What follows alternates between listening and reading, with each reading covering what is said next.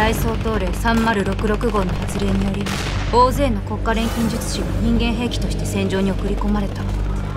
それが俗に言うイシュバール殲滅戦の始まりだった。神の道に背きし錬金術師滅ぶべし。国家錬金術師の連続殺人。額に傷の男我々はスカーと呼んでいる。我は神の外交者として裁きを下す者なり。鋼の錬金術師エドワード・エルリックか。キングブラッド。あいつもホムンクルスの可能性がある。マスタング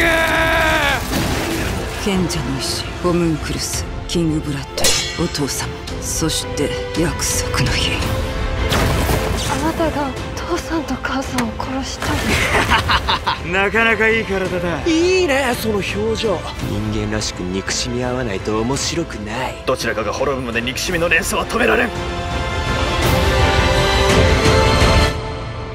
約束の日がもうそこまで迫ってる。この国と国民は全て消滅する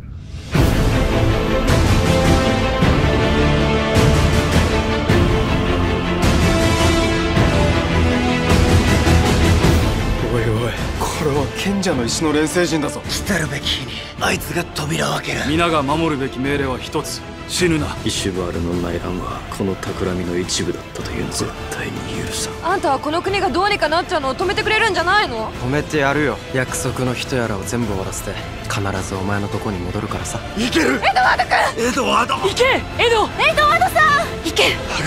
立てよ道三流俺たちとお前との格の違いってやつを見せてやる消えてうせろ。錬金術師。ち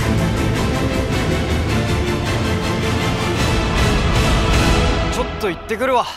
鋼の錬金術師。最後の錬成にな。